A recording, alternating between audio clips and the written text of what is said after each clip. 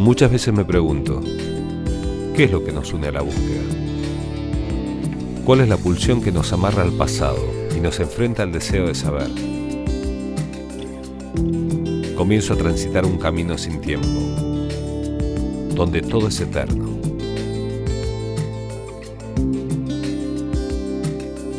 pero a la vez fugaz.